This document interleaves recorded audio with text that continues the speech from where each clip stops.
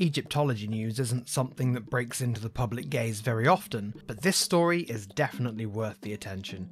You might have heard tell of a golden city or lost city that's been found, but the story isn't over yet as more is being uncovered every day. Let's get into it. We did announce today the discovery of the largest city ever found in Egypt. It's called uh, the Dazzling Aten, dated to the reign of Amenhotep III, 1391 BC. This is a large city. It's not only for, as a settlement, but also administrative industrial area.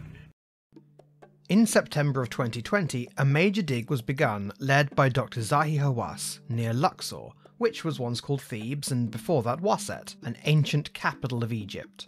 The mission was to find a funerary temple dedicated to Tutankhamun, in the hopes that some fresh Tut discoveries might reinvigorate Egyptian tourism. The team soon uncovered evidence of mud brick walls, which proved much more extensive than those of a temple, and soon a city revealed itself. As of now, a great deal of this ancient city has been discovered. Human remains, distinct city districts, administrative, residential, and industrial, and some amazing day to day evidence. Pottery, of course, a bakery still with its ovens, a sandal making shop, a jeweller, and what appears to be a storage facility for dried meat. The city has not only been dated to the reign of Amenhotep III, but a name has been discovered. This, which Egyptologists would pronounce Penchen Aten, but might be more like Penchachniatin, means the dazzling Aten or the gleaming Aten.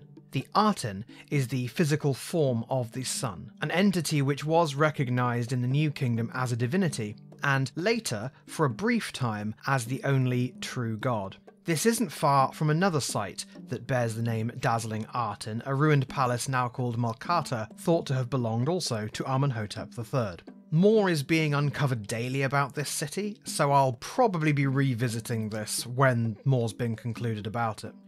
Dr. Hawass has called it a golden city because it existed during a golden age for Egypt. The reign of Amenhotep III is seen today as a time of prosperity for the Egyptian people and of economic and diplomatic success for the two kingdoms. Much about Amenhotep's reign, including day to day life, is obscured by the fact that his son, known nowadays as Akhenaten, broke with the state religion. He and almost the entire rest of his dynasty were, as a consequence, literally erased from history, including his son, Tutankhamun.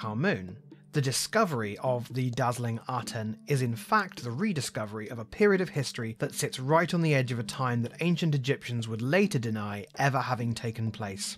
Its remarkable state of preservation will also undoubtedly offer more of an insight into the lives of ancient Egyptians in a time of great prosperity.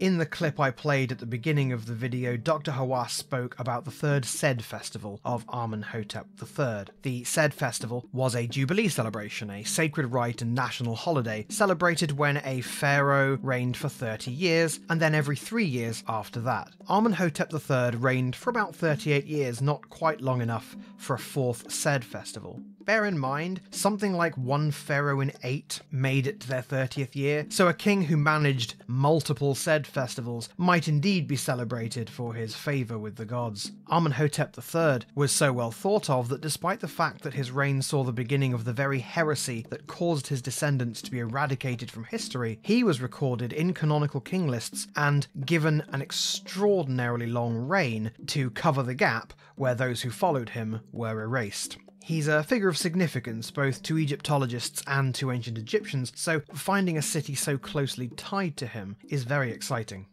This discovery has inevitably been compared to the discovery of Tutankhamun's tomb, and in some ways, that comparison makes sense. Both events created a lot of wider public interest in ancient Egypt. Modern Egyptian tourism has struggled in recent years, not least in the past 15 months owing to the COVID 19 pandemic.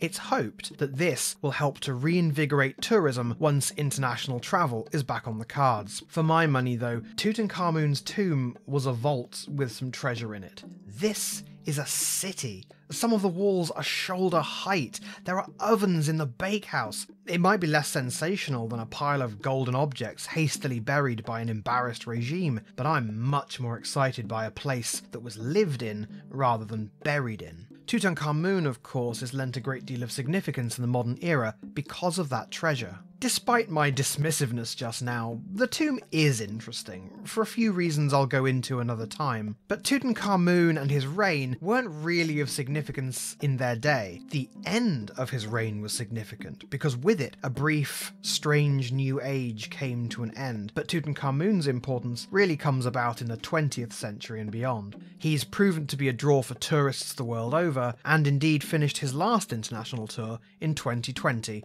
where certain armchair Egyptologists booked tickets to see him and couldn't go because of COVID.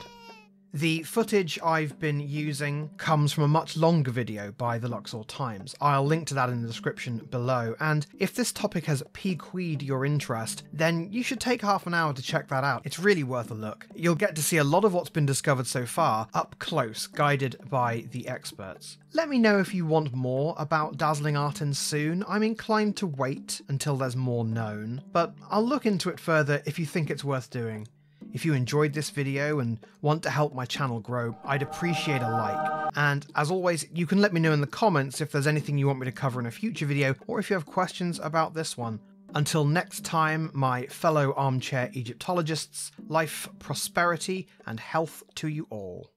Thanks for watching. Head over to my channel for more, or click here to see what the YouTube demons think you should watch next. I hope you'll consider subscribing. If you'd like to support and collaborate on the channel with me, go to patreon.com slash armchairegypt. You can also join my Discord community, there's an invite link in the description.